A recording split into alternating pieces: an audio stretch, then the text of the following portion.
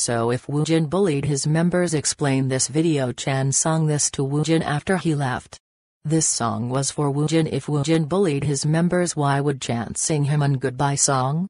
Also this song is very emotional and has deep meaning this song is about losing someone close to you. It's been a long day without you my friend and I'll tell you all about it when I see come a long way from where we began. Oh, I'll tell you all about it when I see you again. When I see you again. This was Chan's live after Woojin left in October Bang Chan went live the same month and sung this song in remembrance of Woojin. So stays explain. If he bullied his members and you guys said Stray Kids didn't like Woojin? Why would Bang Jin sing him a whole goodbye song?